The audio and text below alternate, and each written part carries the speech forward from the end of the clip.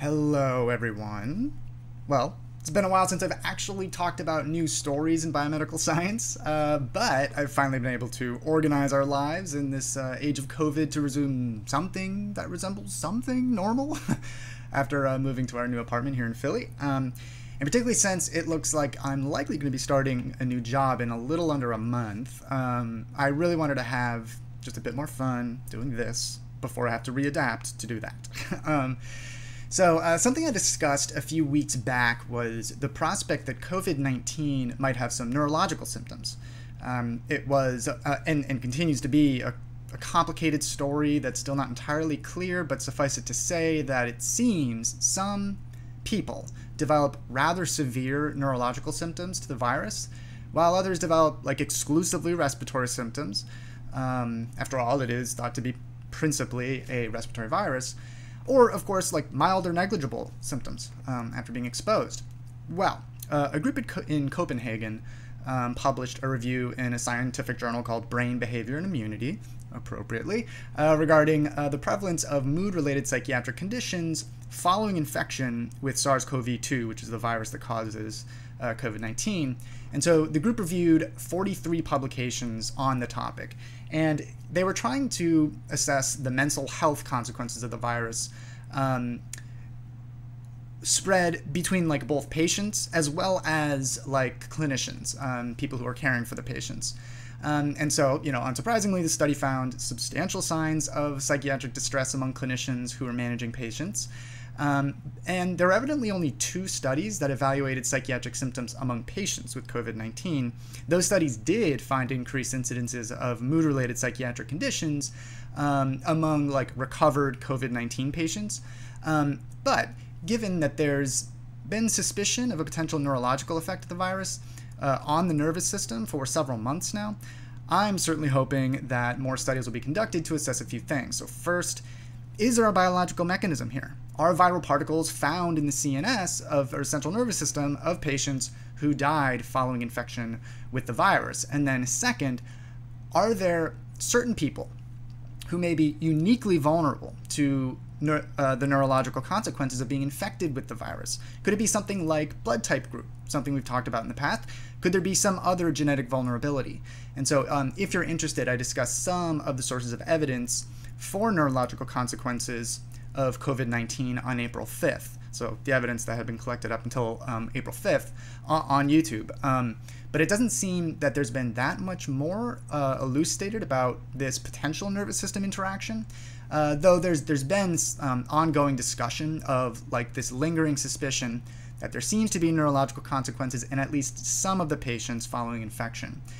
Overall, though, it, it's definitely going to it's definitely worth acknowledging that there's almost certainly going to be a psychiatric toll that this pandemic will take on everyone touched by the virus, both directly or indirectly. And, you know, it'll be prudent to anticipate and prepare for that psychiatric burden. On that note, um, the the note of potential neurological consequences of infection with the virus, um, there's a study out of Gothenburg in, in Sweden. Um, a group collected some data that suggest that there may be detectable signs of effects of infection in the brain, like measurable. Um, and so uh, the group evaluated blood samples of 47 patients with either mild, moderate, or severe symptoms of COVID 19 while at the hospital.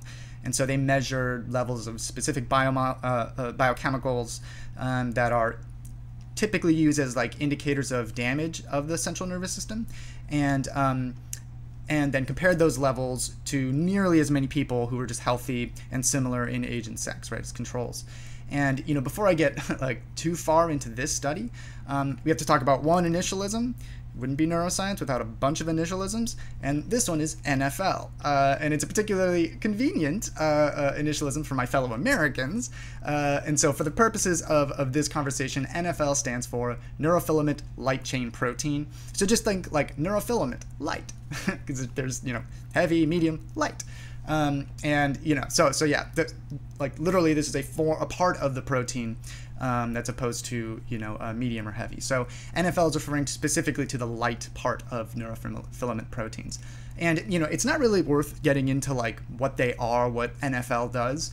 Um, but it's worth noting that this specific thing that's detectable in the blood, you just get a blood test, um, has been identified as a way to evaluate everything from like multiple sclerosis to brain injury. Um, when a person comes into the hospital with symptoms uh, that you know make a physician think that there may be something going wrong in a person's nervous system, and so um, these things that we measure are called biomarkers, uh, meaning like these are specific molecules that can be measured in things like blood, not only blood, but um, that's one of the, the easiest places to measure them. And they can give physicians an idea of what's going on in someone's body. And so, like, physicians use bio, uh, biomarkers to get a sense of, like, how someone's or other organs are doing, like, you know, kidneys or, or the liver, because certain molecules are only elevated in the blood when something's going wrong with those organs. Same idea here. This particular molecule, NFL, seems to correlate nicely with just stuff going awry in the nervous system. And so, this group um, decided to see if there were changes in, in levels of this molecule. NFL, um, in people who came down with COVID 19 and, and, ended up in the hospital. And so this wasn't the only molecule that they measured. Um, so they also checked out um, something called GFAP, which is just another similar kind of sign that something undesirable may be happening in the nervous system when it's um, elevated.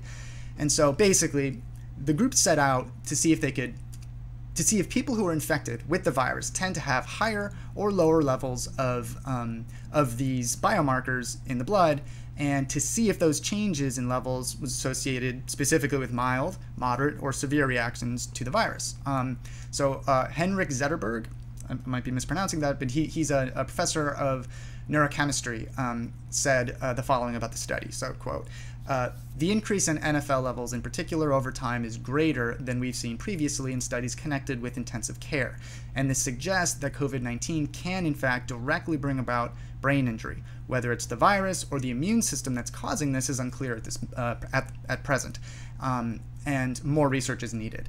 Okay, so, so basically, the group is suggesting that people experiencing moderate and severe uh, reaction to COVID 19 tended to exhibit signs of just sort of negative nervous system reactions to the virus. Um, how it is that the virus elicits those reactions remains unclear.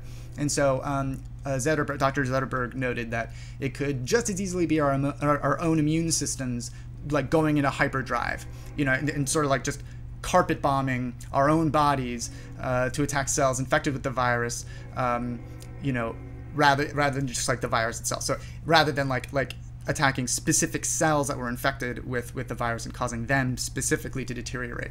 And you know, it, it probably seems a little ridiculous that we can suffer severe reactions to a virus that are due to our own immune systems and not directly to the virus itself. Um, and that's why I, I use that metaphor of carpet bombing. So instead of like taking out a specific target, um, the, the immune system just attacks entire areas of the body, damaging cells that haven't even in, interacted with the virus because you know the immune system just hasn't developed a way to recognize only the cells that are infected with the virus. So so you know once again I'm I'm quite hopeful that uh, neuroimmunologists are are currently uh, assessing if this virus has like a, a unique way to gain access to the nervous system, and if it does, if there's an explanation of why it is that only some people exhibit this reaction to infection. Or, you know, alternatively, if there are some people who have like unique genetic traits, like genetic traits that are identifiable, um, that cause their immune systems to go especially, you know, buck wild and attack the nervous system uh, tissue following infection with the virus, while other people have barely any reaction at all. Or, finally, uh, if this difference in how people react to the virus um, might be explained by some people having been exposed to, you know, viruses that are similar enough to, to SARS-CoV-2, the, the virus that causes COVID-19, that they have far more specific immune system reactions. And so, in other words, if they've been infected by like a cousin of the virus, um, you know, maybe that enables pe- people's immune systems to not have to react with like carpet bombing because their immune systems know pretty much what to look for. All right. Um, there's there's just this one thing. okay, new topic. this is like one thing that's been bugging me over the past few weeks, um, and I've just kind of been like observing how progress within biomedical science uh, regarding COVID 19 has been communicated to folks outside of the discipline. And so it has to do with like how there have been a lot of, of articles that cover articles in the popular press that cover preprint articles, meaning a compilation of experiments um, performed to understand, you know, the nature of this novel coronavirus that haven't yet undergone peer review. So um, these articles are typically the articles for the popular press are typically published in, in outlets like The Conversation is one, or, or like, you know, legacy media outlets, um, which means that people who don't necessarily appreciate the difference between a peer reviewed, you know, scientific publication and one that hasn't gone through the process, they're exposed to scientific arguments that haven't been evaluated or improved by the scrutiny of other scientists in, in a relevant field right? That's basically the, the purpose of, of peer review. And so that you know this isn't necessarily like a problem within science, though it, it's still not not exactly ideal. But you know, in my personal opinion, preprint repositories uh, like bioRxiv is one are um, fantastic and, and, they expedite innovation within science, right? Um, and I'm almost certainly going to be submitting a preprint article in the very near future. Um, but when someone reads an article that interprets findings in a pre-print uh, article, meaning you know they they publish their perspectives in an online media outlet intended for folks outside of science, that nuance in the meaning of the findings published in a pre-print reviewed uh, uh, or pre-peer reviewed um, studies, it's almost always neglected, right? They, they don't like you know strongly caveat that uh, this is this is yet to be peer reviewed. And so, like, as a result, I had like a minimum of like five people I know send me an article about the novel coronavirus being a combination of two viruses. Um, and all, or a chimera uh, is sometimes uh, a word that was used. And so all of these were based on some pre peer reviewed publications that were um, submitted. And, you know, to be clear, there may be some issues with, with how we ought to interpret those papers. Um, you know, not the least of which being that these labs evidently aren't being entirely transparent about the genetic sequences they were using to, to assess this question. Um, and, you know, to be sure, this is not a sign of scientific misconduct or, or anything like that. But, you know, it's, it's peer review that enables other virologists and geneticists and so on to scrutinize those genetic sequences to evaluate just how confident we ought to be in the claims about this, you know, chimera theory, combination theory of SARS-CoV-2. Um, and uh, once again, that, that's the virus that causes COVID-19, which is, you know, driving the pandemic. Um, and uh, even things as simple as like the prospect of the original samples that were used to define the genetic sequences of the virus might be as simple as them being uh, contaminated. Um, and, you know, that possibility needs to be scrutinized by fellow scientists. That's what peer review is for. And so, you know, what I mean is like these labs are making suggestions about the origin of the virus based on like genetic analyses of the sequences of the virus that were collected from specific sources. Um, and so one potential problem with these papers is, you know, what if the samples that were collected from things like, you know, the early patients who were exhibiting symptoms of what would ultimately be identified as um, COVID-19, or from like pangolins, you know, one of the uh, uh, animals that thought to have harbored the virus before it spread to humans, what if they were handled by people who were themselves infected with SARS-CoV-2? So, you know, what if these analyses would be conducted on samples that were contaminated by the people who were handling them from the beginning? That would change the conclusions to which we'd come, given you know the experiments that they conducted. Um, and by the so the, the findings I'm discussing were studies that suggested that it may be the case that a pangolin, oh, which uh, in case you're unfamiliar with what this really strange and really cool animal looks like, it looks like this.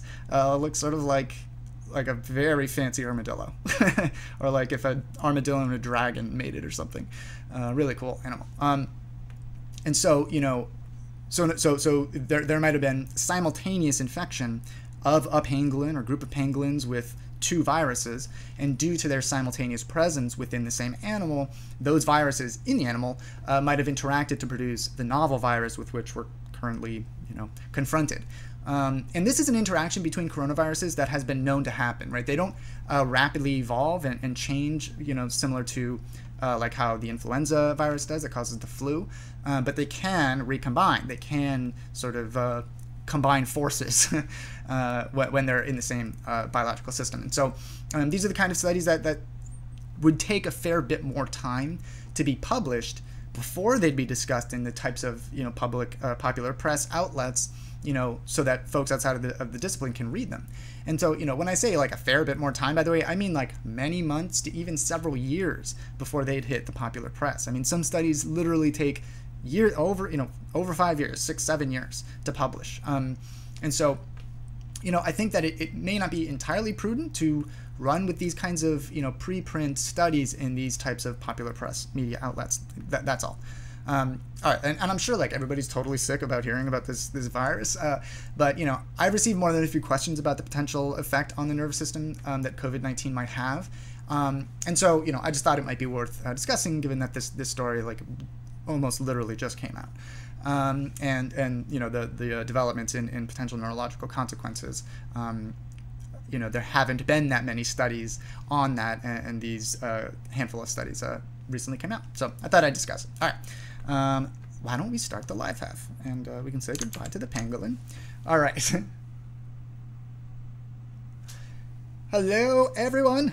my name is Ian McLaughlin, and I'm a neuroscientist. I wrapped up my PhD in neuroscience at the University of Pennsylvania at the end of last year, and I just talked about uh, a few discussions of potential neurological repercussions of COVID 19 on, on, YouTube, and you can check out by searching for things like Ian Anthropoid, or and you know if anthropoid isn't a particularly familiar word, uh, uh, you can try spelling, find the spelling in like my Twitter handle or Periscope handle, um, if you'd like to hear about those studies about the neural, potential neuro neurological consequences of COVID-19. Okay, so I hope all you are doing well. Happy Father's Day, everybody! Happy Father's Day to my, you know, uh, tribe of fellow fathers. Um, and uh, you know, I remember that there was a, a question about a potential relationship between um, aspartame and headaches. And you know, while I suspected that there could be a relationship there, um, I, I was unsure as to whether there there was any evidence to back that up. And so I poked around and discovered that yes, there's a known relationship there. Um, an article that was published in the journal Headache, appropriately, uh, identifies that, that aspartame, as early as like 1989, was identified as a potential dietary source of headache. Um, and so, you know, another study about five years later also provides some evidence that there's a possible relationship there. Um, and while you know this first study was just uh, observational, this study, the second study, was a double-blind crossover um, with uh, people who ident- self-identified as having like headaches following exposure to aspartame. And so, you know, the results of the study weren't like very thoroughly conclusive, um, but th- there was some evidence that for people who were very sure that they suffered headaches following exposure to aspartame, they, there were some folks who also reported having headaches under controlled conditions. Um, and so, um, meaning that we can be a bit more confident about um, about that claim. Uh, and so, you know, these researchers, all of whom are at the um, University of Washington, uh, suggest that there there may be some people who, who are particularly susceptible to um, aspartame-induced headaches. Um, and there, you know, there are like other publications uh, throughout the, the 80s and the 90s about like just the, the types of complaints that the FDA would, would and CDC uh, received uh, regarding aspartame. Um, and uh, the most common complaint was headache. Um, and so, you know, these were completely uncontrolled reports, of course, right? They're just people saying, hey, I'm having a headache and I had this aspartame. Uh, just FYI. um, but it doesn't mean that these data are meaningless, right? Uh, these reports are still, you know, useful uh, um, data. Um, all right. Let's see. Was there anything else? Oh, yeah. Other studies, um, I, I, should note, have um, uh, indicated that there's no relationship between aspartame and, and headache. but uh, you know that that's how these things go in biomedical science. Um, and and what's kind of frustrating for me is that like despite how ubiquitous aspartame is, I mean, try and find like a diet beverage that doesn't have aspartame. I haven't been able to find a, a convincing biological mechanism as to like why a headache would arise from aspartame. Um, and I've seen like some attempts to explain it, but I mean, take it from me, they're, they're overly broad and, and, clearly just speculation. Um, so all this to say, if you get headaches, uh, you notice you get headaches after uh, consuming aspartame, but you don't consume it. um, okay, so yeah, there's another um, uh, question about like the relationship between head trauma and MMA, um, and it like independently of concussion. Um, and I'm happy to talk about that if anybody's uh, interested. Interesting study like just came out about that. Um, all right, let's see how to detox the brain lymph system. Um, hi, Chris, girlfriend here. She has been waiting on you. uh, well, so when you say detox the, the brain lymph system, lymphatic system, I mean, so the lymphatic system, the brain doesn't really have the same kind of lymphatic system that you probably have in mind. So the, the lymphatic system is essentially in the periphery, um, and it is the sort of conduit for things like antibodies. Um, it's like a separate circulatory system almost. It's very cool. Um, and the brain has something that we call the glymphatic system, uh, which sort of functions similarly, but you know we don't have really B, B cells and C cells B cells and T cells uh, in the brain. We have like microglia and you know other sort of similar types of cells that, that behave that way or that, that have sort of like phagocytic properties that can like engulf something that's not supposed to be there. Um, but you know, broadly speaking, you know, you, you, wouldn't. They're not equivalent systems. Also, when when you say like detox, um, you know, that's a word that is sort of thrown around a lot. Um, you know, like detoxing your system, uh, you know, getting rid of toxins. The problem with the way I hear that discussed is that like people have a really difficult time identifying what exactly a toxin is. Um, and and generally speaking, you know, uh, more often than not, what I see is that when people start, you know, saying, you know, this is toxic, um, they're they're sort of speculating, and, and it's sort of like, well, it's not natural. That's one of the things that, that comes up. Well, lead is natural, you know, and, and lead is certainly not ideal to have in your nervous system. Um, and so, uh, you know, detoxing, I think, is, is sort of um, an overly broad um, descriptor. Um, the best thing you can do when it comes to like amplifying the efficacy of your glymphatic system, your brain's sort of immune system, is get a lot of sleep, or you know, get an appropriate uh, duration of sleep. That system, the glymphatic system, is significantly more active when we're asleep than when we're awake. So, um, you know, if you are at a sleep deficit, um, it is going to be less effective, less um, active. Um, in fact, one of the uh, hypotheses for Alzheimer's disease is that um, chronic sleep deprivation, which is known to be associated with increased um, incidences of dementia, uh, you know, a, a sleep deficit uh, sort of disables the glymphatic system, and then as a result, the two aggregates that are sort of the signatures of um, Alzheimer's disease, amyloid beta plaques and neurofibrillary tangles, are able to aggregate or build up uh, more rapidly than they would had the person been getting a good amount of sleep. Um, so that would be the number one thing. Just uh, don't um, don't skip on that sleep. Hey, Asha, good to see you. Asha Valani. Why isn't anyone protesting today? Do all their brains have to spend time with their fathers? yeah, I don't know, maybe.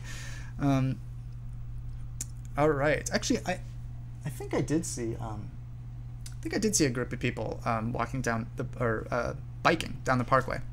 I don't know if they were that was a protest. Might have just been like a dad bike trip or something. But um, are you an MD? No, I'm a PhD, so I'm a scientist, not a not a physician. Um, any insight on dreaming? How uh, meaningful are they to real life, or just subconscious thoughts? Excellent question. And in fact, if you would um, like a deep dive into de- uh, dreaming, I have a podcast. It's called Wired to Be Weird, and we um, talked about dreaming quite a bit more than I anticipated because once I started doing a literature review, meaning like I dive into the sort of evidence that's been collected by scientists, I found that it's, it's a far more interesting topic than I anticipated. Um, so, like, to address the, the, the first topic, like, how uh, meaningful are dreams? You know, should we be interpreting, you know, it, are dreams um, our subconscious trying to teach us a message, our, our, conscious awareness a message. There's really no good evidence for that. Um, and in fact, you know, we're not 100% sure why dreaming occurs, um, but we have some pieces of evidence, and, and, here are some of them. So, so first of all, we think that most dreaming occurs during a, a phase of sleep called REM sleep, rapid eye movement sleep. We, uh, you know, as you're falling asleep and staying asleep, you have sort of different stages of sleep, um, and it's basically a progression of like stage one to three, and then some people say maybe four, a, a fourth stage. Some people say three and four are basically the same. Doesn't matter. You have, you have several stages, and as you progress through those stages, your brain is getting slower and more rhythmic. And in fact, we refer to that kind of sleep as slow wave activity. So SWA sleep. Um, it's very important uh, uh, phase of sleep.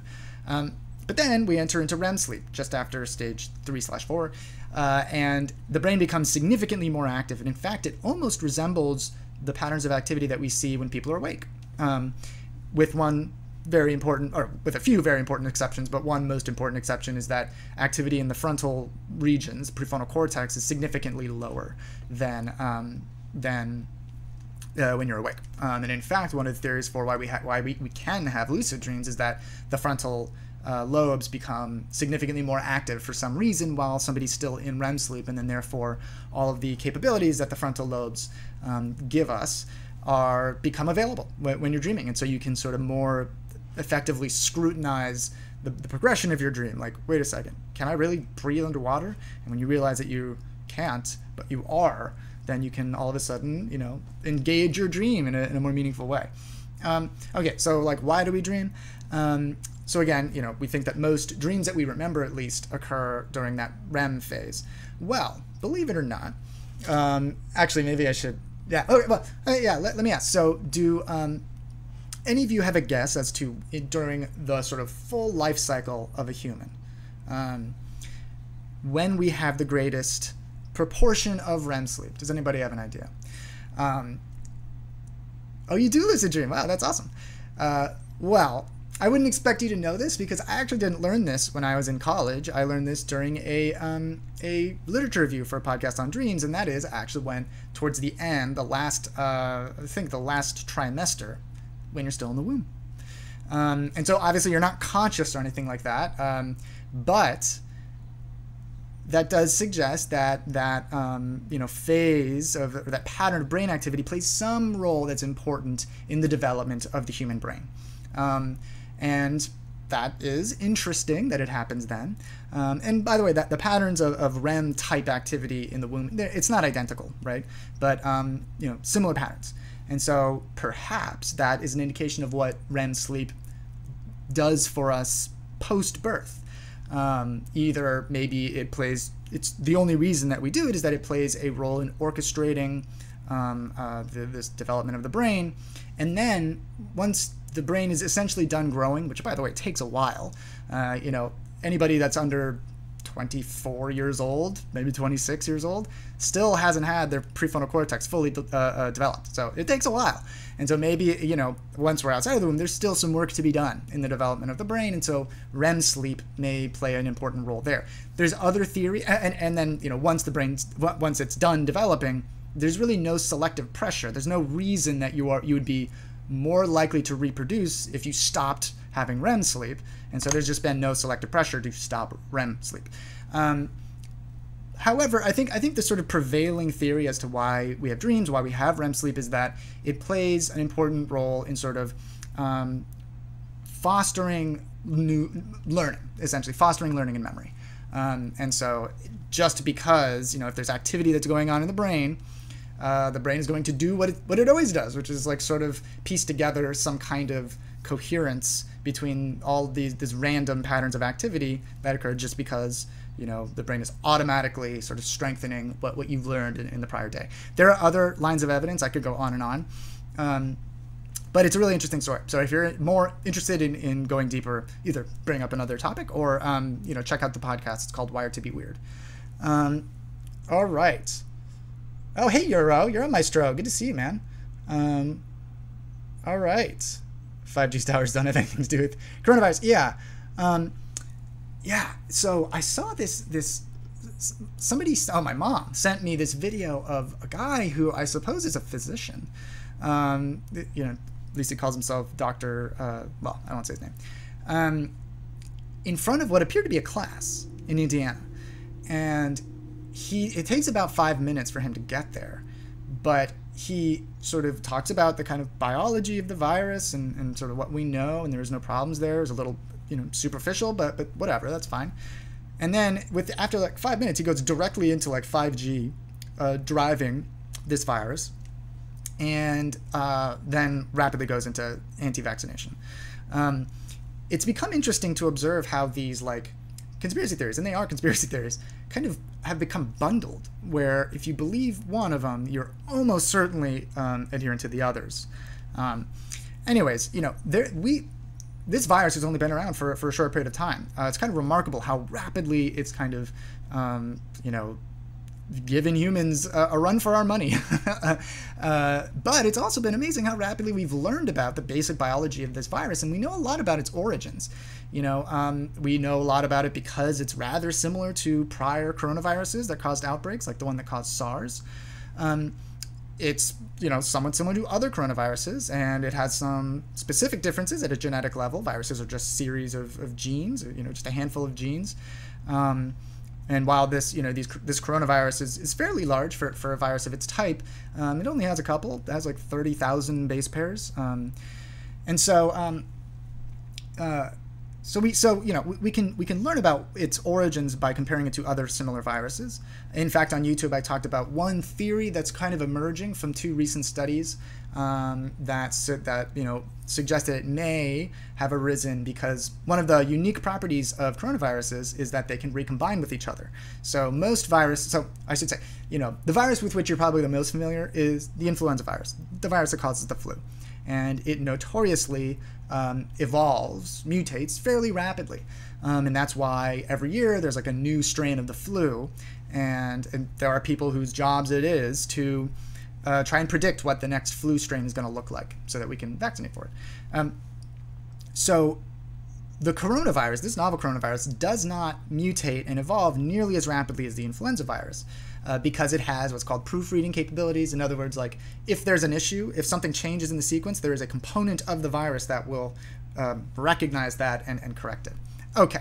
Um, however, coronaviruses can do something called recombination. Once two slightly different coronaviruses are within the same uh, uh, biological structure, they can interact with each other, combine, and then generate a novel coronavirus. And so there's some evidence to support that that theory. Um, there's some problems with the study, and I talked about that on on the YouTube um, video about it. Uh, but but it's interesting. I mean, it, it's certainly plausible. It's certainly more plausible than 5G towers. uh, there's just no biological justification for um, jumping so far ahead into something like 5G towers to uh, explain um, you know, uh, uh, something for which we have much simpler and more plausible explanations. If we had no idea, if this virus was completely dissimilar to any prior virus, if it, you know, had had essentially nothing in common with prior viruses, okay, we might be in a different situation here, and we could, you know, speculate as to like maybe there are some non-biological, you know, uh, uh, uh sources for it, or, or, or you know, causes uh, um, that exacerbate its spread. But we're just not there. We know plenty about this virus early on. Um, so so yeah, um, far more plausible are the you know explanations that are based off of the actual biology of the virus. Okay. Um, uh, if this scientist were to say 5G towers harm our brains, the government will be knocking on his door. Uh, that's also not true. I don't think the government really cares very much about me. Um, okay, I have zero negative. Oh, negative. Oh, the virus won't hurt me. So you know that that is uh, that is a zero, right? Yeah. yeah. Okay. Uh, so O negative is a blood, uh, blood type group or blood group type. Um, and you know, you, most of you have probably heard of, oh, I'm a type A or you know, type B, type AB, type O, type uh, O positive, O negative. Um, those are called blood uh, group types or blood type groups. And basically, they are a function of little kind of like flags that are unique uh, among certain groups of people that distinguish their blood cells from other blood cells, uh, other people's blood cells. Um, and the the blood uh, uh, group that you um, of which you're a part is determined by the genes that you inherit from your uh, mother and your father. Um, and so there has been some evidence to get to the point that our friend here was, was bringing up. There have been some data that do suggest that this uh, virus um, and other similar coronaviruses may exhibit a kind of discrimination based off of blood group type. Um, and so um, uh, and but those data are basically entirely just statistical. So it, it's just like, you know, a certain, uh, uh, you know, a, a, group in a hospital. I think the first study came out of China. Uh, will just begin, you know, the, they'll collect data on everything about people that are coming in to try and understand the virus. And one of the things that they would collect is is uh, blood antigen type, you know, type A, type B, blah blah blah. Um, and uh, However, you know, it's not a controlled study. It's purely observational. They're just saying, hey, it turns out that generally speaking, the majority of people who have this virus, who have severe reactions to this virus, tend to be of this blood uh, antigen type. Um, and so, you know, that that's meaningful. Um, and they they this was observed after the the initial SARS outbreak in the early 2000s.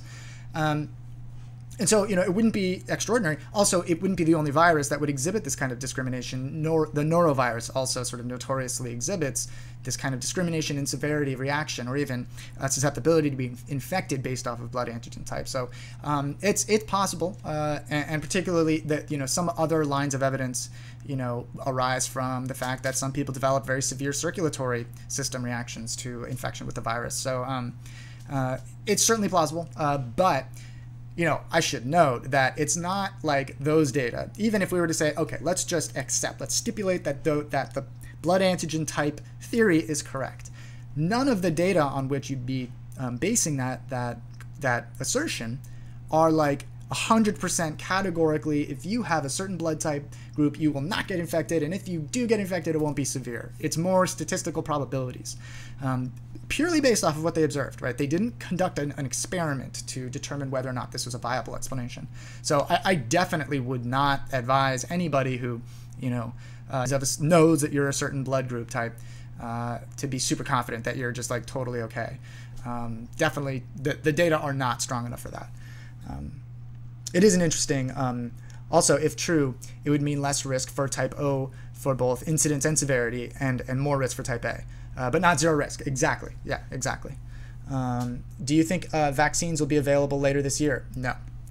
Uh, I mean, it, it's you know never say never, right? But um, it, it, would be a, a, very very remarkable achievement if um, an effective um, you know vaccine were not only created but also you know tested and found to be safe enough for general consumption. Because if you think about if a, if a vaccine comes out, there will be millions and millions of people who are vaccinated, um, and as you know, anybody who does anything related to biomedical science knows, vaccines in particular have been targeted for any incidents in, in you know past vaccination that had negative health consequences, and that's fair. I mean, like everything should be scrutinized for potential negative health consequences. It's why we have an FDA.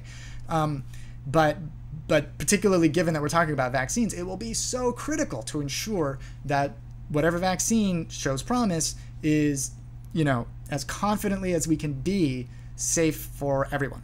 Um, and you know, keep in mind that includes people with you know other medical conditions, maybe you know uh, young children.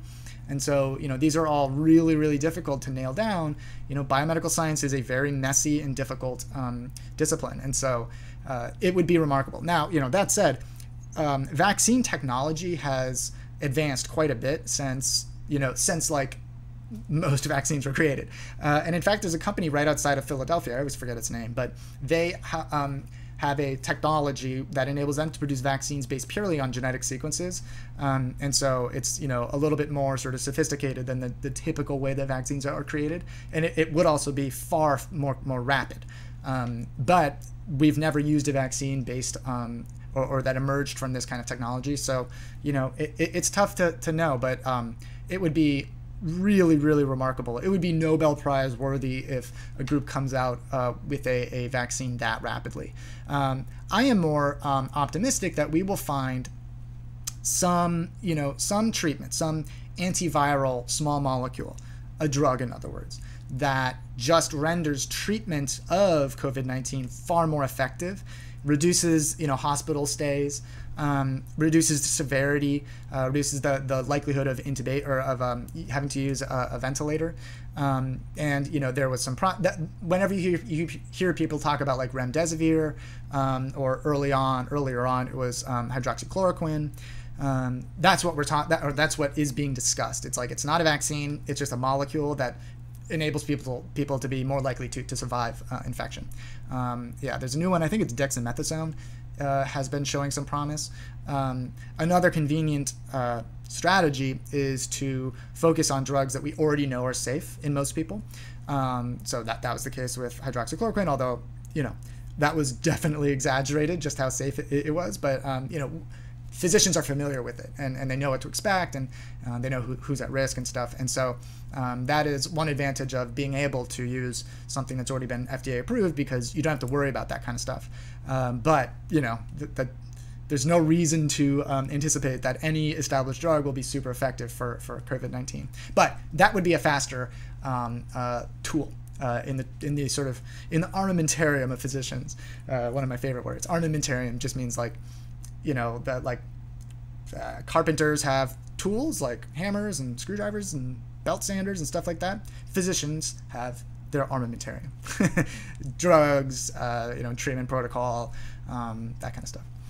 All right. It, do we really only use 10% of our brain? Is there a way to unlock it all? Great question. It's kind of interesting because, um, and then we can talk about LSD. That would be fun.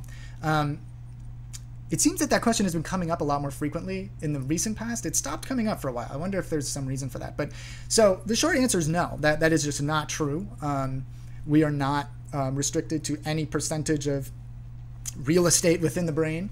Um, the only limitation is is the threshold beyond which, if we were to use more brain activity at one time beyond this level, we would start having seizures.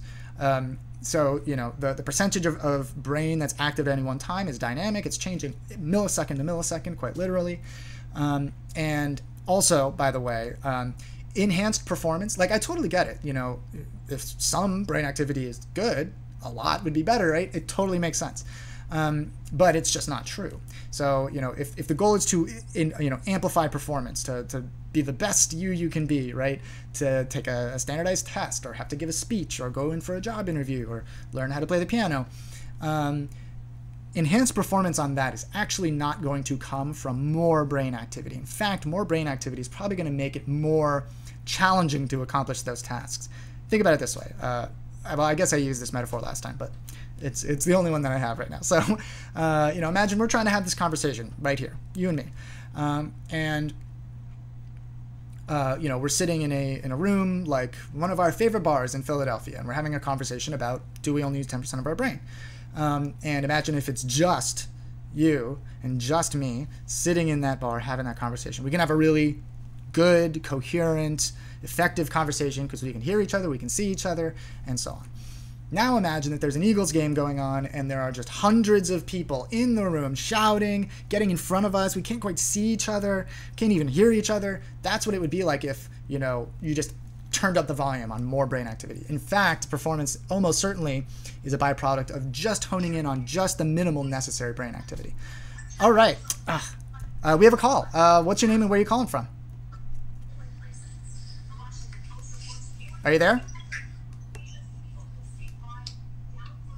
Uh, Hos, Hose Marty's, uh, are you there? Can you hear me? Yeah, I hear you.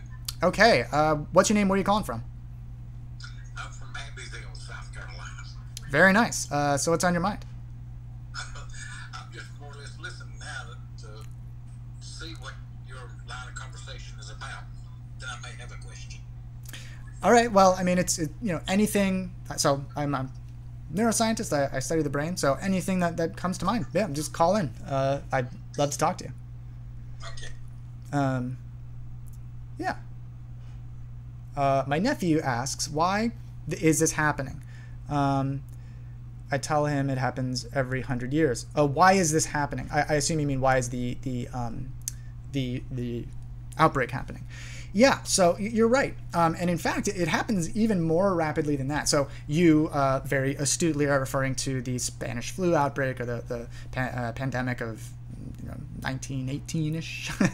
um, and that also followed a pretty interesting trajectory. Um, there was, a, well, in, in, any case, yeah, so yeah, so about 100 years ago, right? And it was very, very severe. Uh, millions of people globally died. In fact, Philadelphia was essentially the epicenter of that outbreak, by the way. Um, and that's because the city didn't impose uh, effective social distancing uh, uh, practices like other cities. Like St. Louis is always the one to which Philadelphia back then is compared because they did, and they suffered far, far fewer um, fatalities. Um, but so, so you know, that was a, a strain of the flu, right? And there's some really interesting history as to why it came about then, that like the role that that World War One played um, and um, you know why it was that it, it's the the most common fatalities from that pandemic were actually younger people. Um, interesting potential explanations there.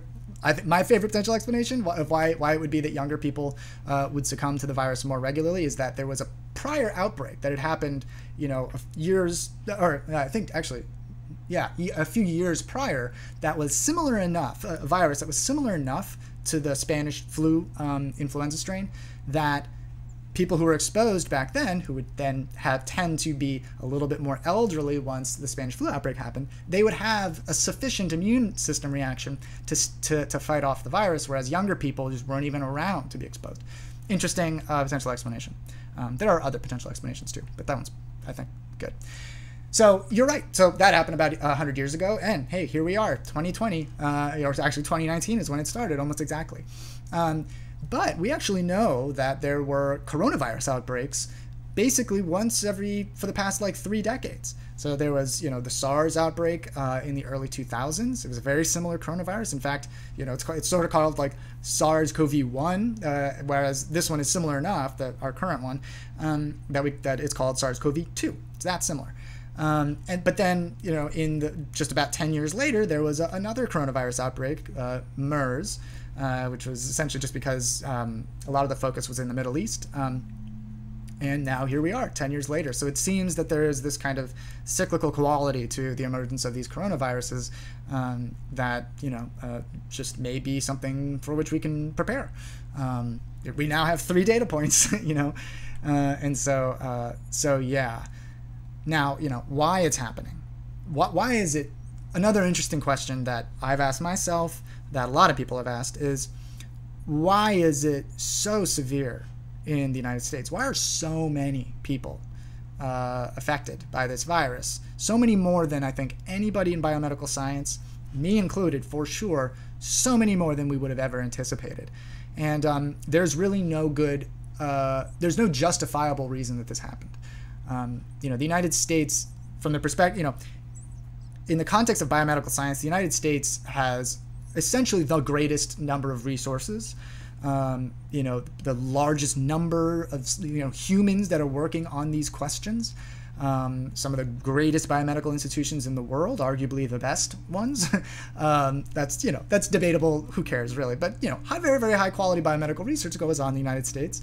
Um, a lot of expertise, um, and in fact, we we uh, people whose whose job it is to prepare for pandemics, they anticipated this.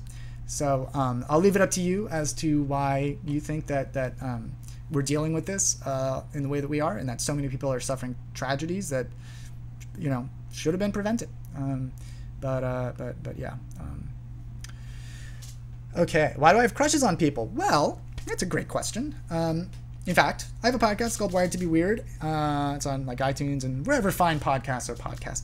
Um, and I have an episode about love. Uh, it's called "Why Do Birds Suddenly Appear," and uh, uh, 100 points to Gryffindor for anybody who can uh, tell me what strong that is. Um, um, and uh, okay, so so here's why. I mean, so humans are a social uh, primate. Most primates are, and attraction is like one of the subconscious, very primitive components of our consciousness that drives reproduction, um, that drives sort of mating behavior. Um, now, of course, it's not exclusively. The human brain is a very, very complicated place, and so it's not as simple as you just flip a switch and all of a sudden you're attracted to someone. Um, but that is essentially why. It's the invisible hand of natural selection pushing you to behave in a way that is perhaps objectively irrational, um, but um, theoretically uh, good for the species. Um, now, wh- why is it that you feel attraction? That's another interesting uh, conversation. Um, you've probably, or you may, if you're interested in these topics, may have heard of the uh, the hormone oxytocin. It's a rather important hormone. It's very cool. It does a lot of stuff. It's very important for social interaction, and um, that is associated with uh, attraction. Also, dopaminergic activity in a part of the brain called the VTA, a part of the brain that I've studied personally, uh, seems to be also elevated when around somebody to whom you're attracted. Um, all right, we have a caller. Uh, let's see the name. So 721. Uh, what's your name and where are you calling from? Are you there? 721. It froze up on me. I don't know if you can hear me, but. Yes, I can hear you. May drop down and just try and join back in because your video is frozen. Oh, no. Okay. Uh, that's too bad. I wonder if there's like a connection issue. There was a connection issue for me last time. Huh. Let me know if the video's misbehaving. Um, okay, on YouTube. Hi, Ian. Can you talk about what you've learned about the possible long-term uh, chronic health issues associated with surviving COVID-19 respiratory? Right. Yeah. So that, that is like one of the one of the, the major concerns that I think a lot of people are underestimating.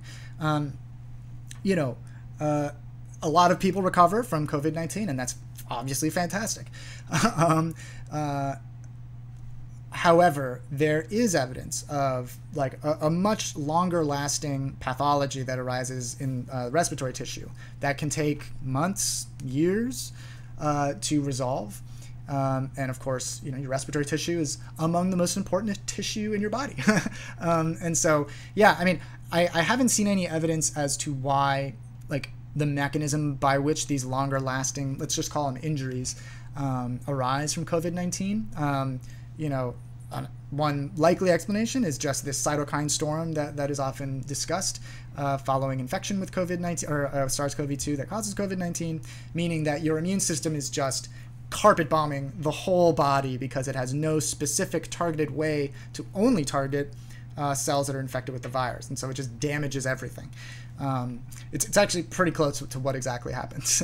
um, and, and so that might be, be part of the reason for why uh, SARS CoV 2 induces this damage. Another is that it seems to be the case that um, SARS CoV 2, uh, which uh, in distinct from other respiratory viruses, it can cause both an, an upper respiratory and a lower respiratory illness, um, meaning that generally speaking, respiratory viruses are either upper or lower.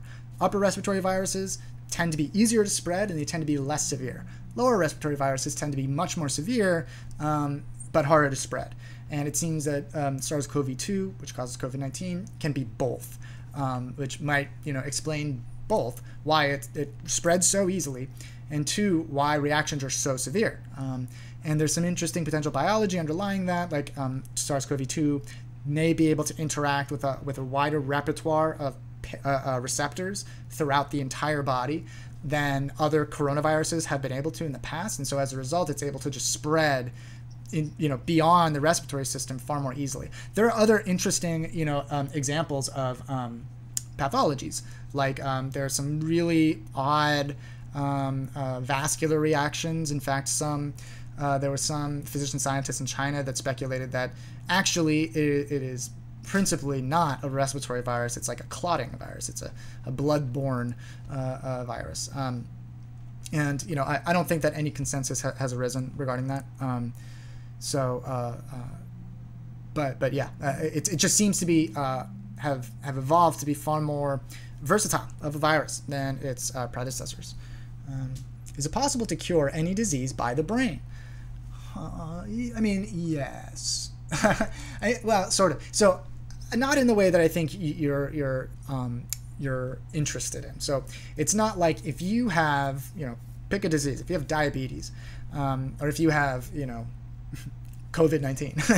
um, just you know um, engaging the challenge um, uh, engaging those diseases uh, through you know changing your attitude getting more sleep just purely brain-based reactions that is not going to be sufficient to confront these types of pathologies because those those diseases arise from you know organ systems cells with which the brain has very indirect relationships um, so, you know, if you want to cure diabetes, the problem lives in the pancreas. It doesn't live in the brain.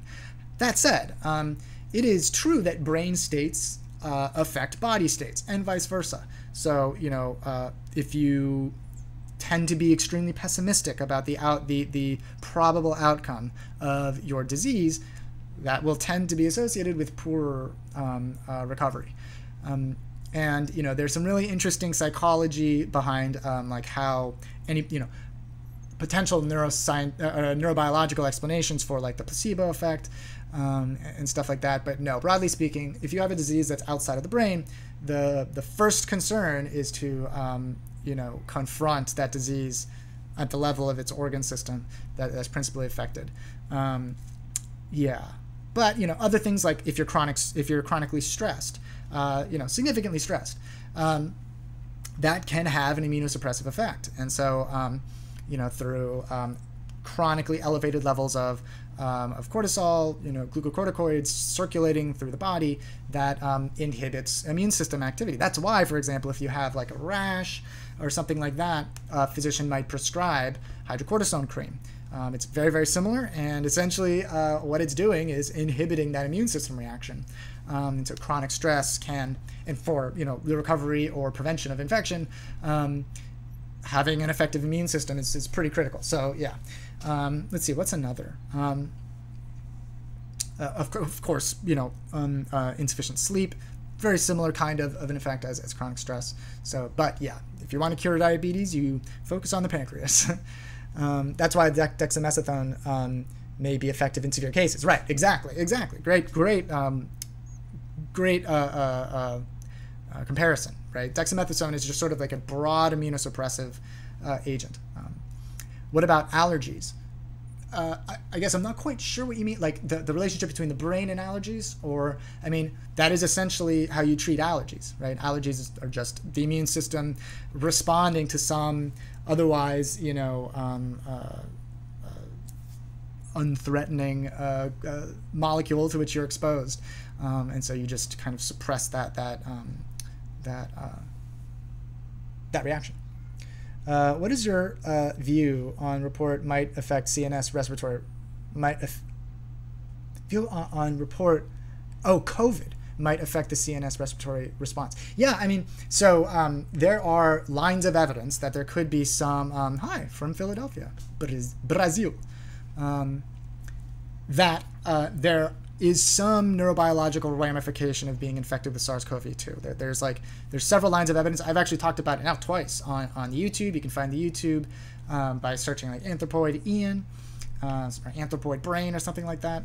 Um, and uh, that's what I talked about earlier today was um, some more evidence that there may be like a neurobiological reaction specifically to infection with the virus. So rather than like an indirect effect of having you know poor respiration, you know insufficient oxygen delivery to the brain, those types of things that can happen when somebody has severe severe pneumonia, um, that can have you know ramifications for for neurobiological health. But um, uh, it might be it, there's some evidence to suggest that uh, the virus induces a sort of inflammatory reaction in the brain on its own, um, which would which could potentially um, explain some of you know some of the cases of people coming into the hospital who are confused or exhibiting you know uh, symptoms of dementia but with no respiratory symptoms no fever who test positive for covid-19 um, you know and there are other lines of evidence so you can check that, those out at uh, the youtube so search like anthropoid if you don't know how to spell anthropoid because that's a weird word that nobody ever uses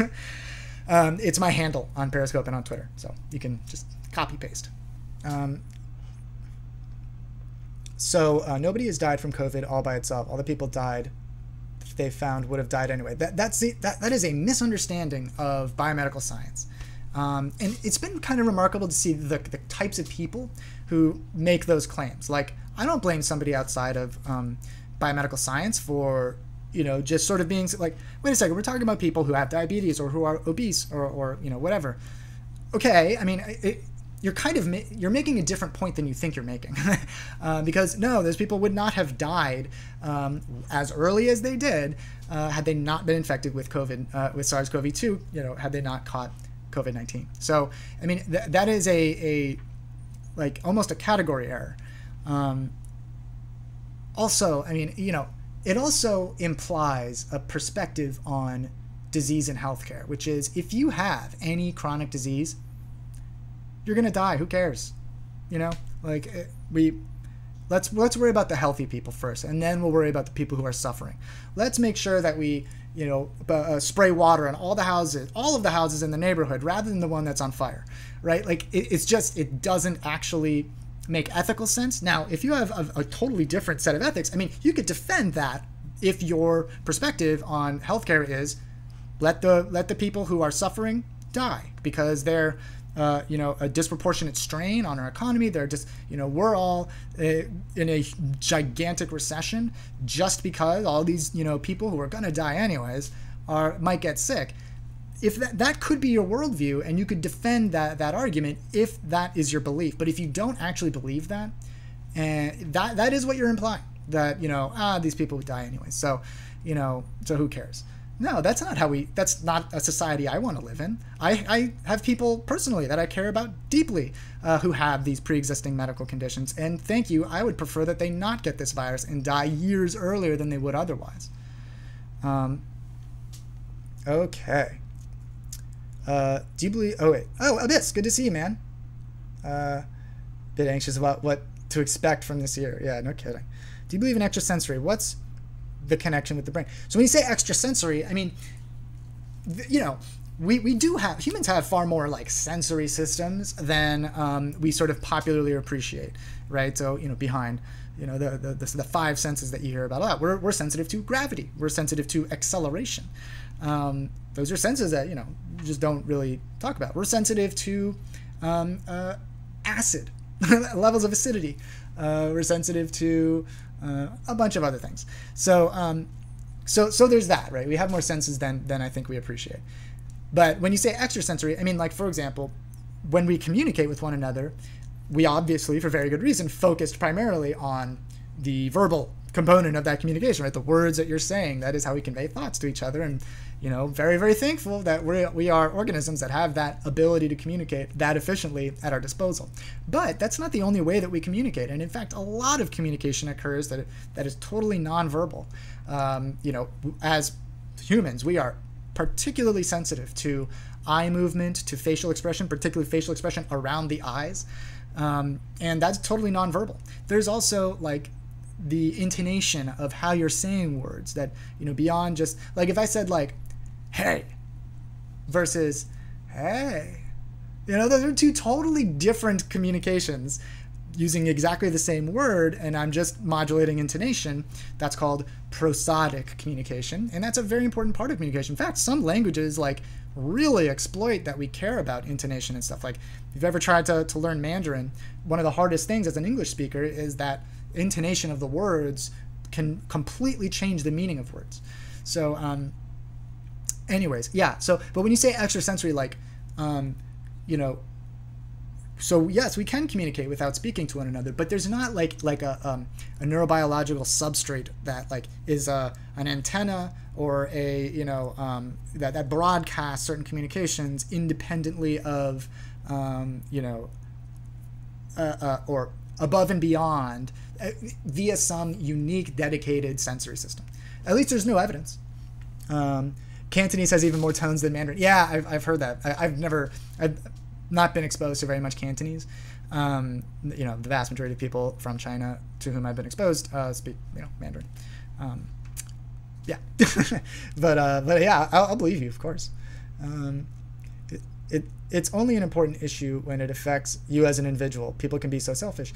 Yeah, I mean, you know, and, and I, I don't even blame people for that. Like, you know, our, our society does kind of function that way. Uh, you're you're sort of um, uh, you know we're you know uh, so so i i can appreciate when people don't like uh, or i can empathize or sympathize with people who don't like think through the sort of philosophical argument they're making um, particularly because it's not their job, right? Like they, they don't sit around, they're not like public health experts or they're not physicians. And so, you know, this happens to be one of the biggest, maybe the biggest in our lifetimes, um, incursion into our sort of day to day life. So, I mean, I, I get it that, that people you know are, are interested in, in approaching this from a different perspective but um, but what what does frustrate me is when people who should know better um, compel other people um, who don't think about these things all the time to uh, adhere to that perspective that that's what's frustrating me okay when people analyze everything what's going on in a brain it's an overload um, as a syntax as a scientist uh, do you believe in God? What is your view on religion? You know, like, so I used to talk about uh, my own personal beliefs uh, years ago. Um, but, um, you know, at, at, this point, like, I am no more um, informed on religion, on spirituality, on theology than anyone else here. In fact, I am sure that there's somebody in here who is um, more fluent in, in these sorts of evaluations of, of different religions and spiritual traditions. Um, and so, yeah, I, I, just stopped sort of talking about my own because you might as well just ask anybody else. Yeah, you might as well ask somebody, you know, uh, to whom you're close friends or something like that, um, that than me. You know, my expertise is in what goes on in the brain. Uh, after you're born, and then uh, right before you die. Uh, so yeah. Um, uh, wait, what's going on here? Be wearing Antifa masks, like Antifa. Yeah. So what you're talking about there, I mean, you know, humans are pattern-seeking creatures. So our, our friend here is saying uh, is essentially implying that COVID-19 is is a mechanism by which Antifa uh, has you know justified being able to wear masks everywhere. Um, it's an interesting relationship there. I mean, you know, uh, uh, I, I, can understand the pattern that you're forming, but humans are pattern-seeking organisms. Like we, one of our greatest capabilities is uh, perceiving patterns in nature and acting upon them. Um, and um, so, uh, uh, like, I think that there are so many other explanations for COVID 19 that are biological, that are genetic, that are, um, you know, immunological, that we just, it, it doesn't have to be the case that this is a fabricated, um, that, well, that, that it, it's far less plausible, uh, plausible that this is a, a fabricated pandemic. Um, okay what is the main difference between the human brain and an animal one? Well, I would uh, submit to you that we there is no difference because humans are ourselves animals. Um, but I know that's a cheeky kind of boring point. Um, so so the the thing that makes the human brain quintessentially human that that enables us to do all the things that humans can do above and beyond what other primates um, are, are, capable of doing is this is a, a couple of things. But the main thing is um, this very swollen frontal uh, region of the brain um, came on, you know, that is among the most recent developments in the evolution of the human brain. There's also, however, we have a very, very thick neocortex. Um, so, just to give you an example, uh, elephants have far more neurons in their brains than humans have, um, far more. But I, I don't think that I have to work too hard to convince you that humans are more intelligent um, than, than animals or that than elephants. So you know, if more neurons equated to more intelligence or better brain, or, or you know, however you want to phrase it, then elephants ought to be more intelligent. Um, but there is one significant difference, which is humans have far more neurons in our neocortex. When I say neocortex, it's like the outermost layer of the brain than elephants do. So there could be, you know, some uh, secret sauce to the uh, to the the necessity of having or the, the, the capabilities that uh, the neocortex confer to us. Um, but yeah, so it's mostly those two things, um, and uh, you know there are essentially like if you were to sort of slice my brain you know, in half, right? Whatever, like that or like that. Uh, do a nice old sagittal section along the midline, uh, basically cut from here to here, and then you were to look at it. You like having, you know, essentially, you know, maybe you've been exposed to like, oh, I, I think that's the thalamus, or you know, I can, you know, see the, the wrinkles on the outside, like I that's the cortex. Um, and you were to do the same with a bonobo brain or a chimpanzee brain, you would see some similarities. Like you would see some of the structures are clearly pretty similar. In fact, maybe they're even close in size. Um, and in fact, as you go down the phylogenetic tree, as you go down to organisms that are evolutionarily significantly simpler, and um, you know even all the way down to like rodents, they have a lot of the same brain structures that we have, but they're just significantly smaller, typically less complicated. Um, and so, so yeah, so so there are tons of similarities across the entire animal kingdom um, in brain structures, but um, there are some pretty specific ones um, that render the human brain like uniquely capable of doing certain things that other animals can do to some extent, but not not as effectively. Um, have you read any studies about receptor structures between rodents and humans, if any? Oh yeah, oh for sure, yeah. There there are definitely some. Uh, there's, there's, there's a lot.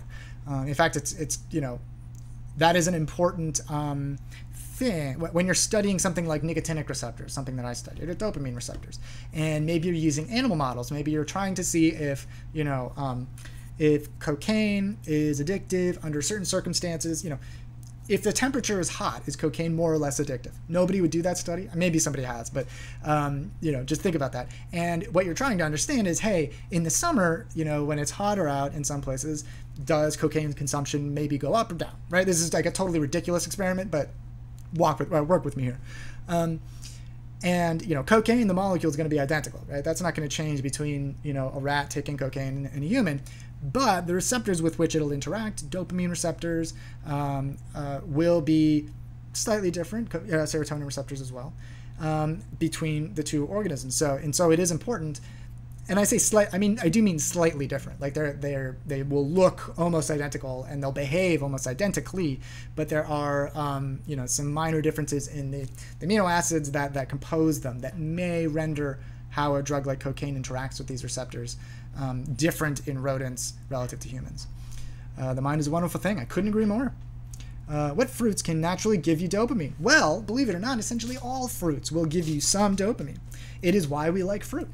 Um, and it is why uh, a lot of foods um, can be um, impossible to avoid uh, for some people. Is that uh, essentially whenever somebody eats, you know, a delicious food, it doesn't even have to be fruit, right? Any um, delicious food that you enjoy, um, you have like a small dose of what happens in the brain when you do cocaine uh, or when you do essentially any addictive drug. Um, you know, you can name essentially any drug that somebody does fun for fun, you know, um, voluntarily, and they, it will share this um, one neurobiological mechanism at a minimum, which is elevating dopamine release in a specific part of the brain, in a specific circuit in the brain, the mesolimbic dopaminergic circuit. And so when you eat, you know, my one of my favorite fruits is, is apple, right?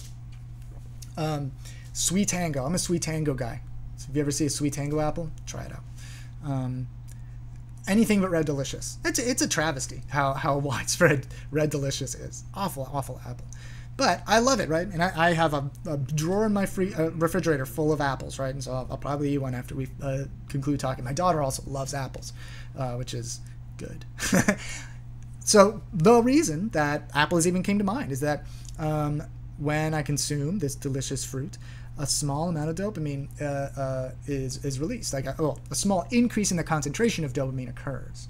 So, uh, depression effect of OxyContin cause perm chemical damage to neurons, causing permanent depression. Oh, that's an interesting um, way to, to phrase it. So.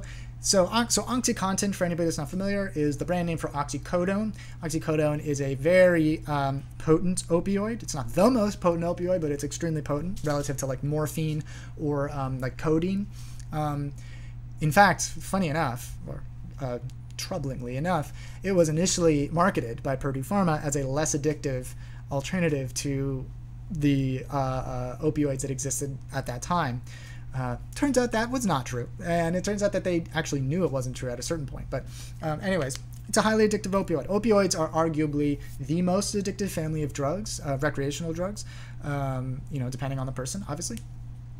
Um, and but it, it, what's interesting about opioids and what makes them both useful medications, uh, but also you know um, uh, potentially you know problematic is that opioids themselves actually do not damage nervous system tissue. Right? Some drugs do. Methamphetamine can kill dopamine producing neurons uh, via excitotoxicity. Right? Um, oh come on! No, that, that's that's that's patently not true. Um, so I think I'm we're gonna. Yeah. Okay. Um, that, that is just complete nonsense. Uh, we, we know a lot about the, the origin of um, of oxycon uh, oxycodone, OxyContin, and it's just what he's saying is false. Um, okay, so uh, right, so opioids do not damage neurons themselves, um, and that is different from like methamphetamine, which does, or even alcohol can damage uh, uh, neurons. Um, and so, uh, so that's intriguing. So, at, a minimum, addictive properties of a drug do not rely upon damage to the brain, right? Um, so, but what opioids do, uh, do do, and very effectively at that, is alter the activities of specific groups of neurons, which is what drives, for some people, um, uh, that compulsive consumption, that, that addiction. Um, so, uh, and those changes, right, that, that occur over the course of, of, using opioids for an extended period of time can last for a, a, long time. In fact, some of those changes, there's some evidence to suggest they may be, for all intents and purposes, permanent, like epigenetic changes that can occur. Um, but by and large, the changes that occur in the brain um, are trans- they, they are not permanent from, from opioids, and so that that is a source of optimism for you know recovery from opioid addiction. Like you're you know clearly um, you know you're you're referring to one of the most um, uh, devastating symptoms of opioid addiction and, and, withdrawal, which is severe, severe depression. And it's like it's a kind of depression that like you know um, rattles you to your core, right? It's not like the kind of depression that people who are withdrawing from cocaine experience, because cocaine has a very specific sort of um, uh, pharmacological activity in the in the brain. The places that opioids uh, interact with are like also involved in things like maternal attachment, like a mother's love for her child, you know, and and so when you, when you're manipulating those parts of the brain, that depression is really severe. Um, but there's hope. You know, neurons have not been uh, irreparably uh, uh, damaged. They're just behaving differently for a period of time. And you know it'll take a while to recover, but the process of that recovery, once you get to the point where you're no longer, you know, um, compulsively thinking about opioids, constantly seeking them, that process is determined by how long it takes for the brain to come back to resembling something that looks normal. So, um, so there, there is hope. Uh, particularly, you know, if, if you're um, going through opioid withdrawal, there is hope.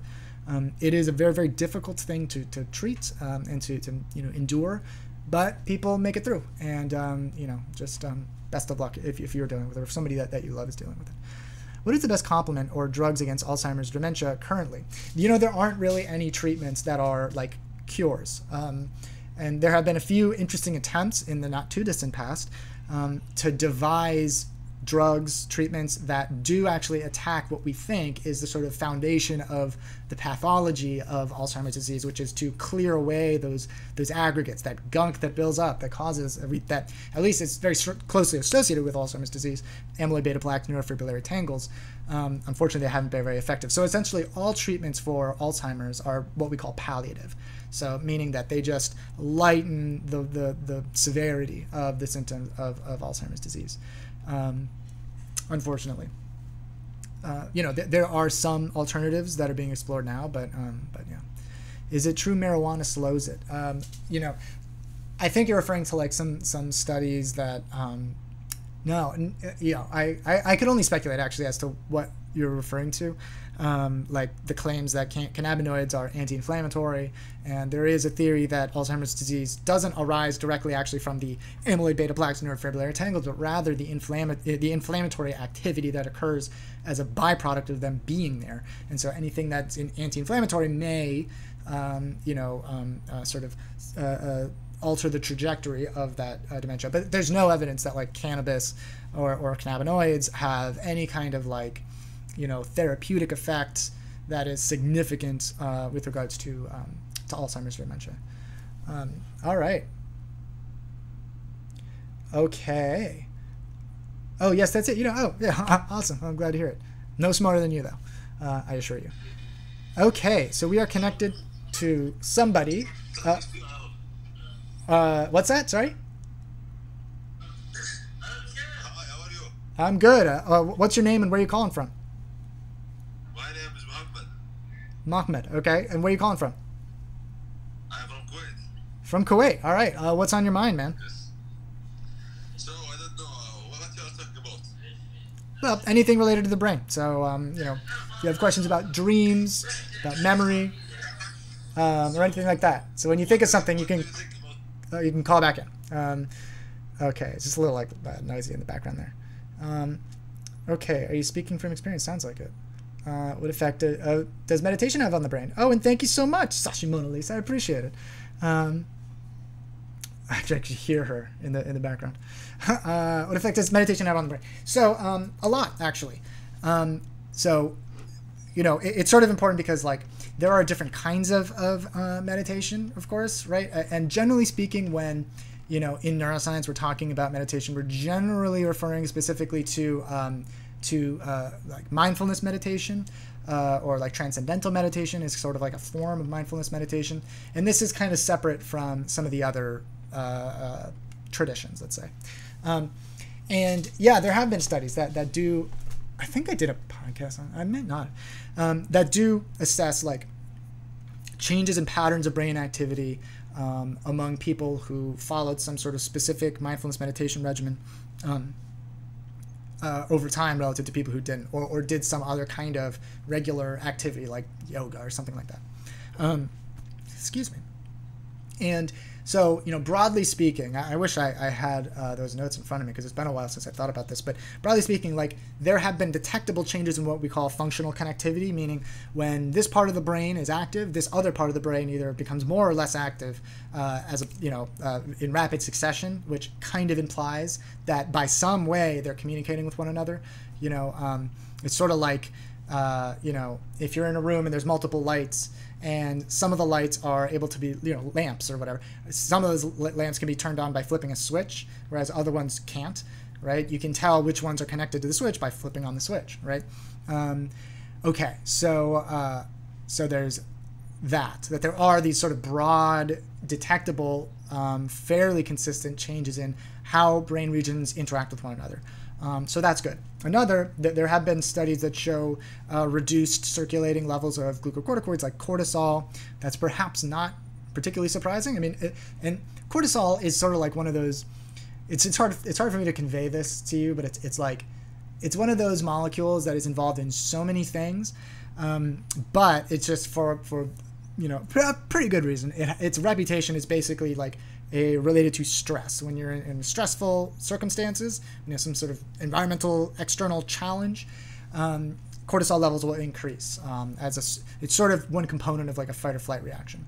Um, and so, and, and, people who are chronically stressed um, or you know uh, are diagnosed with like generalized anxiety disorder tend to have elevated levels of cortisol. And it turns out that mindfulness meditation for I, I can't I think it was like six weeks or something like that resulted in consistently lower levels of um, of uh, average, you know, levels of cortisol in the, the meditation group.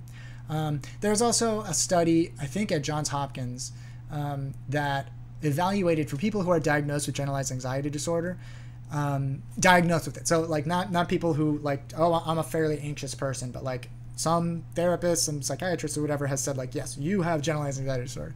Uh, it turned out that if those folks did mindfulness meditation, they tended to uh, report ben- uh, uh, improvements in their uh, psychiatric states. Um, so there are a handful. I, am a big proponent of mindfulness meditation. I think it's fabulous. Um, and there are free resources out there. So if you're trying to learn, go ahead and, and uh, give it a shot. Uh, you know, I can give you some in the near future. So Tiger Bad Boy, what's your name? Where are you calling from? Hey, my name is John. I'm calling from Toronto, Canada. Awesome, John in Toronto. What's on your mind?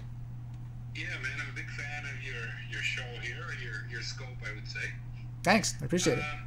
Yeah, man. Yeah, I watch you all the time. I hardly ever. First time calling in. So my wife and I were here. We just had a little discussion. Uh, is there any evidence that any race of people are smarter than others? Like China is. Uh, I don't want to be politically incorrect, but you know what I mean. I know exactly what you mean. Yeah. So, um, so it's it's a complicated uh, uh, topic because of course you have to define intelligence. Human intelligence it's very very complicated.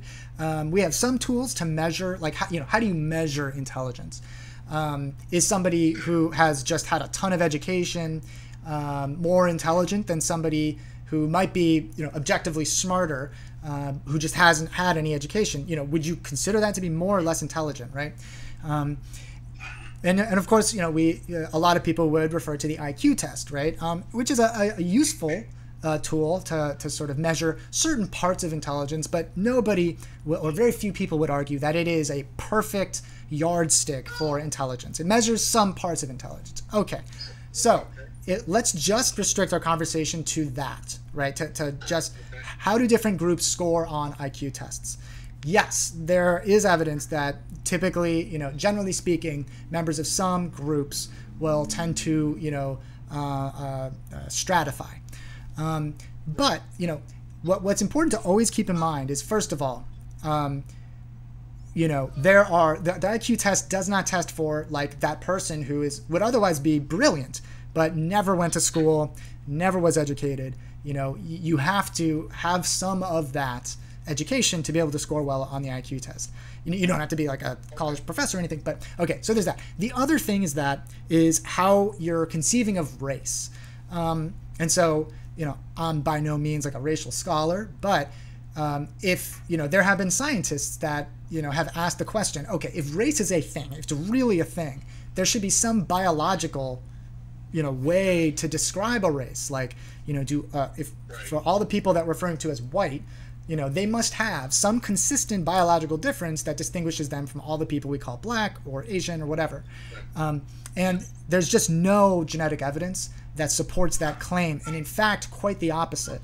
Um, and I could go on and on, right, about like, for example, uh, in terms of how we conceive of race, we actually tend to rely on features of our genetics, our genomes, that do not indicate that there's a significant genetic difference. Like we, you know, we use skin color, right? That's like the major one that we use, and that is just like one. You know, that's not a very complicated set of genes. And generally speaking, you know, how light your skin is. Or I feel your pain. uh, so, oh, you know, uh, and and by the way, there, there, there's one more thing that I th- I just think is a fascinating little factoid is that on the continent of Africa, Africa is a gigantic continent, right? It turns out there there is greater genetic diversity between all the inhabitants of all the countries in Africa than there is among the rest of the world, right? Um, and but in America, and I suppose probably also Canada, everybody from Africa would be called black, right? They're all just, and so so yeah. Go. I'm sorry. Go ahead.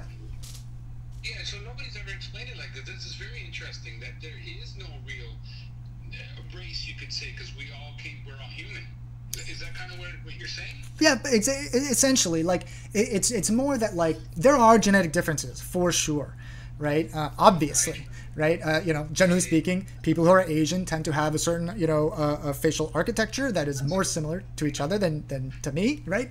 Um, yes. But what that doesn't indicate is that there is a consistent, apart from that, right, that there's a consistent genetic difference between, you know, neurons, between other aspects of, of the body that can be consistently identified.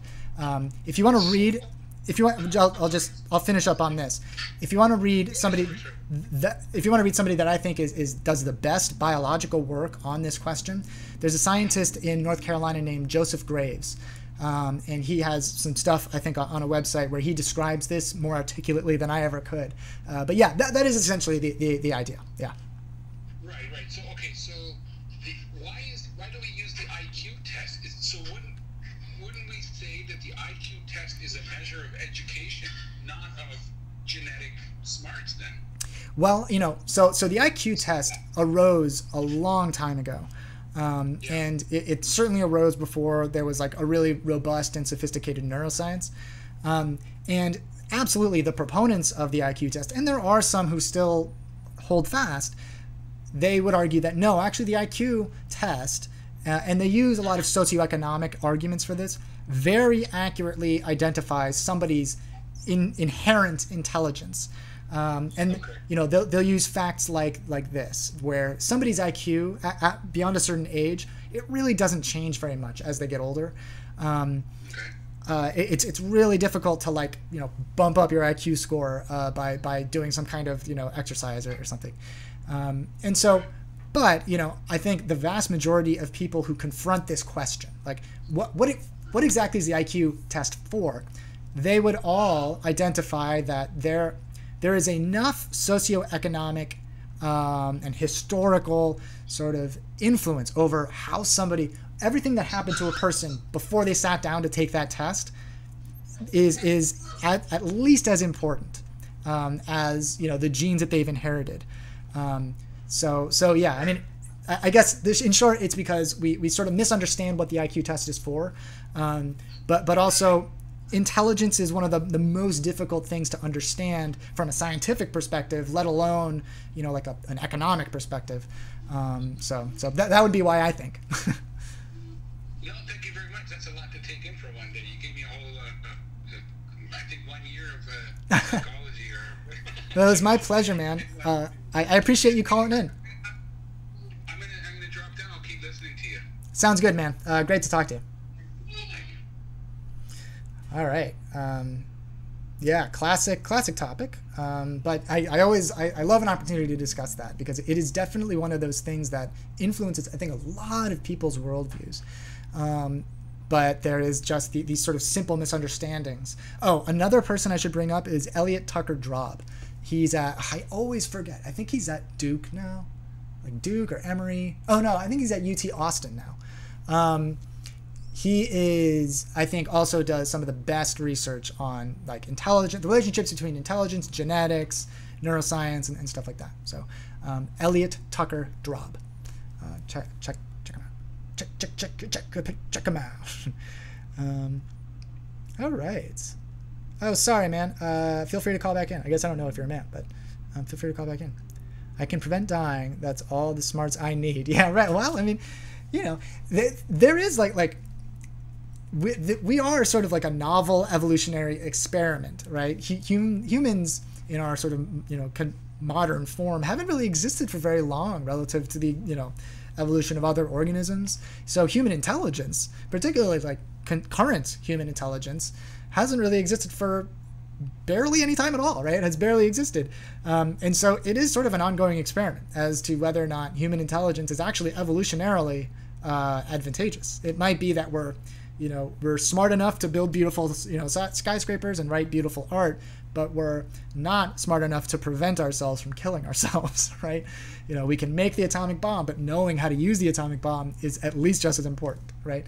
Um, so, uh, so I, am an optimist when it comes to human intelligence. I think we uh, we will prove that uh, natural selection uh, favors human intelligence, but it has yet to be uh, determined. um, all right, shows discrepancies between performance and abilities. Um, all right, uh, faster than the speed of light. Einstein said it's impossible. Yeah, I mean, I, I would trust him um, more than I would trust me, I should say. Children, yes. Uh, IQ uh, was designed to diagnose learning disabilities among children. It's now misconstrued. Yeah. I, I, so I, I remember reading about like the origins of the IQ test long time ago because I had years ago, maybe like three or four years ago, I de- I had wanted to do a podcast episode on intelligence, and particularly because there was this this debate that emerged after a guy named Sam Harris had a guy named Charles Murray on his podcast. Um, and um, I ended up focusing more on. And Charles Murray wrote a, a very sort of notorious, or he co-wrote a very notorious book called The Bell Curve, and he he a part of the book relies heavily on IQ tests, um, and um, I didn't know anything about him uh, apart from that book, um, and you know it, it's a very divisive book, uh, the uh, the Bell Curve.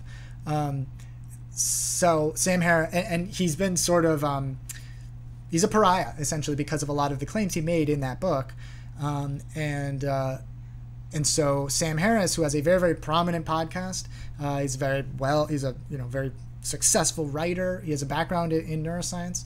Um, he invited uh, Charles Murray on and had a conversation about this, um, about race and IQ essentially, and um, you know he they were both pilloried for it because um, just because like like there, there just wasn't a sophisticated appreciation for the the latest research that complicates this conversation, uh, specifically from people like Elliot Tucker Drob. Like like for example, you know one of the lines of evidence that is used by people who are proponents of using the IQ test to to you know determine intelligence um, is that if you have identical twins and they're separated at birth, their IQs will be very very similar. Well, Elliot Tucker Drob shows actually that's not the case. Um, so, uh, uh, so in, any case, uh, uh, that's why I got into this, and so I ended up focusing a little bit too much on Charles Murray back Charles Murray's background. Which, by the way, if you're not familiar with that uh, abyss, you might find it super interesting. Uh, I think you know, I, I, my bet is that Sam Harris didn't even know like who Charles Murray was. Um, so yeah, so I, I, probably neglected reading about the the origins of the IQ test as a result, and then I ended up just saying like, I can't do this. Like this is such a gigantic topic, I just cannot do this while I'm still trying to finish my PhD, right? Um, so yeah, I'll have to uh, spend some time learning more about that origin, or those origins. Yeah, I think it was. Well, in any case, yeah. uh, thanks for bringing that up. Can we unite both sides into one? Uh, I don't know what you mean by that. Um, are we alone in the universe? Oh, you know, I was talking to Euro Maestro actually. I was chatting with him, and uh, we were talking about like you know he, uh, collaborating with a group on um, on COVID nineteen, uh, and you know we were just talking about you know our understandings of like how we got to where we are and, and that kind of thing, and then you know I I just like randomly brought up like yeah so much has happened it feels like it's been you know like it's already been like five years within the past you know few months um, and but of course, you know, you know, hopefully the, the rest of 2020 will, will, will look better. Uh, except I'm sure like next week we'll be inv- invaded by aliens and you know they'll enslave us. Uh, and he like he did this like, uh, and I'm sure he, he like uh, was was essentially quoting somebody else who's done it, another scientist. But he basically said like, the probability is not as low as you think, which is pretty funny. Um, all right. Uh, how do we get rid of obsessive thoughts? It's tough. I think uh, Harris noticed Murray after his talk was canceled at the University. Was it Michigan? I thought it was like. I thought it was um, like Oberlin or something like that. In any case, yeah, right. Um, yeah, eh, which is it's. Well, in any case, I mean, we can have a whole conversation about Charles Murray, but um, suffice it to say that that I do not find the arguments that uh, Charles Murray made in that interview, nor that I've seen him made elsewhere, uh, very convincing at all. Uh, it, it's like it, it's it's he's purely using socioeconomics to with IQ and just making the assumption that IQ is a almost a biological measure, um, and it's just that's a very unsophisticated argument. That, like I, I can you could justify making that argument 50 years ago, right? Before we had like a, you know genome sequencing and like very sophisticated sort of psych- psychological statistical methods and you know genetics behavioral uh, profiling you know these types of things an understanding of the relationship between socioeconomic status and neuro, uh, neurophysiological health like we all of those things uh, but we have those now so it's just i think it's just you can't justify it uh, there's an ideological commitment there uh, with charles murray uh, i think is that that that's what, what, how I'll put it. Um, how do we get rid of obsessive thoughts? Um, so it, it's difficult. So first of all, if you are you if you're having recurring obsessive thoughts, um, that is that could be a psychiatric condition that could be recognized by a, a, a therapist or a psychiatrist. You know, if, if you just cannot stop, I mean, that is a symptom of obsessive compulsive disorders, rumination. You know, um, you know, being obsessed over uh, more most frequently it's it's like negative potential negative events um, you know ruminating over some anticipated doom um, and and then the other well one of the other parts of OCD is that um, an inappropriate behavior is then associated with the attempt to mitigate that anxiety right so you end up washing your hands super excessively by the way i can't imagine what it's like for people whose OCD manifests in like excessive hand washing. That, that is like a category of OCD. I can't imagine what life is like now, where they're like, all of a sudden they have like a superpower. they're like, they're super prepared to deal with this pandemic. Um, uh, you know, but that, that is a very small silver lining, I would imagine. Just like my hands are always so dry, my knuckles, I'm constantly having to put lotion on them. It's like brutal.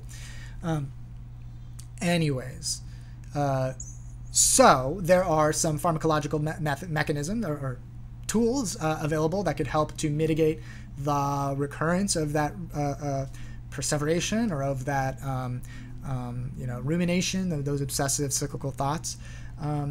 Generally speaking, you know they, are sort of a lot of them are like in the sort of antidepressant or antipsychotic classes, um, atypical antipsychotics. Uh, there's that. Um, there's also just like therapy. You know, um, it, it you know you don't need to rely upon pharmacology to uh, confront the brain. You know, we have people who train to to help you do that, um, and so that would be you know what I would recommend. Particularly, I mean, if you're just like concerned that like, oh, it's sort of borderline, it doesn't really affect my life. You know, I just I wish I didn't do it so much. That's you know, I, I feel like that that's maybe closer to normal, right? Um, but if it's inf- influencing, you know, reducing your quality of life, that's that's a different story. Um, and you should reach out to a physician. Um, all right. You ever do any DMT? You know, um, gosh, I keep forgetting to get this quote of um, Thomas uh, Metzinger, I think is his name. Ah, oh, God, that is so frustrating. I thought I had it. Ah. Well, uh, I'll put it the way he put it, where if you're interested in exploring uh, consciousness, um, there are some people who are like serious about understanding consciousness, and some people who are sort of like um, entrepreneurs in, in, trying to understand uh, consciousness, and you're either serious about it or not. Uh, that's my answer. Okay. Have schizophrenic symptoms ever gone away in someone with schizophrenia? Well, sure. Um, so, uh, following treatment. So generally speaking, it is uh, you know there are like sort of different types of symptoms of schizophrenia. So schizophrenia can manifest in different ways. Um, but generally speaking, we you know refer to like the positive symptoms or the negative symptoms. Positive symptoms are like the acquired ca- uh, characteristics of schizophrenia, like you know uh, paranoia is one of the, the frequent ones, but there can also be like hallucinations. Uh, most frequently, it's auditory hallucinations, but not not exclusively. It can also be visual. Um, so so there's that but then there's also like negative symptoms where you know people um, have what we refer to as like a, a flattened affect uh, where they just don't sort of like broadcast their emotional states to others as most people do um, so and, and, most treatments that we have for schizophrenia are um, are effective at treating the, the positive uh, symptoms um, but there's also like you know social anxiety can be can be a component of schizophrenia um, and uh, and so uh, derealization. You know, um, there's you know typically like uh, unconventional beliefs uh, are, are sort of common to it. Um, and you know, so all this today, we have some uh, treatments that are effective for some symptoms of schizophrenia, not others. Um, for so and and those symptoms can abate following effective treatment. Not all of them, but some of them. Now, what you may be, more interested in is psychosis, right? If, if somebody has a bout of psychosis, uh, which is actually quite a bit more common than I expected, um, they are, uh, uh, it happens more frequently in more people's lives than I anticipated.